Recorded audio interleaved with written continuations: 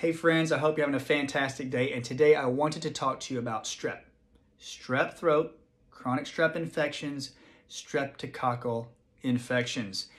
You know, because there's a lot of people out there that like to kiss a lot of people and make out, and swap that spit, and that spit contains a microorganism, a bacteria that can transfer to the salivary glands and to the tonsils and to the sinuses and even into the gums of the teeth, causing things such as pus or tonsil stones, chronic sinusitis, a stuffy nose.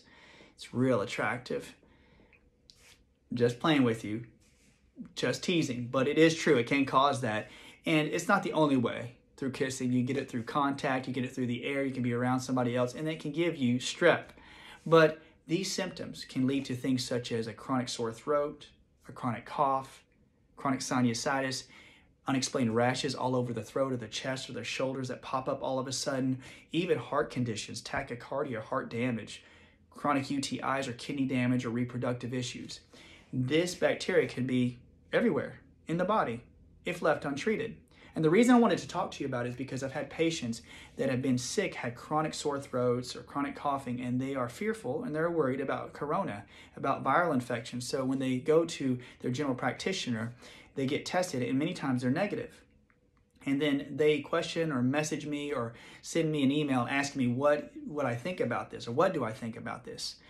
And I suggest that they get a strep infection test. And many times it's positive. So they may have this chronic strep infection that's been sticking around for many years. So I question about their history. We look back in their history. Did they have chronic ear infections when they were a kid? Did they have chronic throat infections? Were they chronically having diarrhea or constipation? These are areas of the body where strep can invade heavily. And if they say yes, they now can see that strep could still be lingering in the body because strep is very, very chronic. It can be dormant for a very long time. And if your immune system is weakened over the years, through antibiotic use, over amounts of sugar, heavy amounts of sugar, dehydration, any types of prescription medication that could damage the digestive system, or even being in a toxic environment emotionally. These are some of the things that can actually cause strep to become dormant and stay dormant, but still thrive, still drain you of energy and food and nutrients. So, if this is the case, and we look back in their history and they do have signs and symptoms, and they do have a positive test, I suggest certain herbals and spices. So in the next post, we're going to talk about the spices and herbals that can help gently remove the strep. Try to get it to move out of the body without causing too much of a detoxification problem, almost like a Herx reaction with Lyme. We don't want to over detoxify too quickly. So if you're having these signs and symptoms and you can't get rid of them, look into a strep test.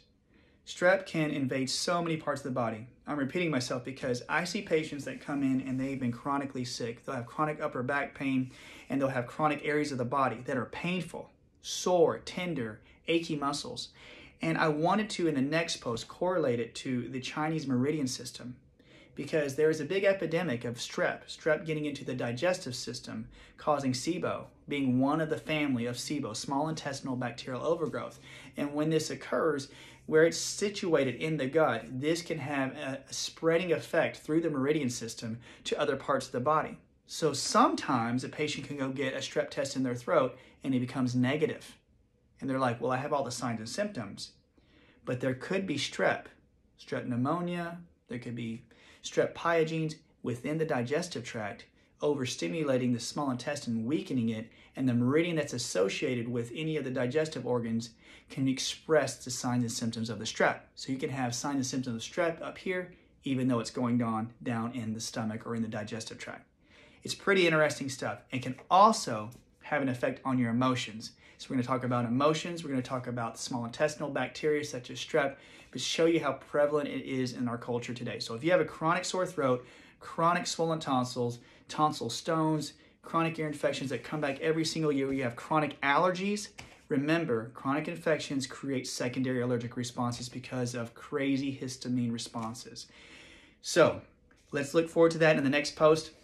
I do like talk about strep. I find it many times that people have these symptoms every single day in the office, literally. So if you have any of these signs and symptoms, it's not to be negative, it's supposed to be positive. We can find these things out, start cleaning them out so you can actually what?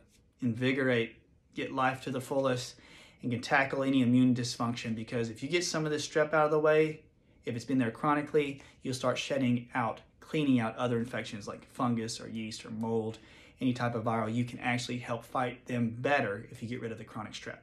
So that's what we're going to talk about in the next post. Guys, I hope you have a great day. You take it easy. Talk soon.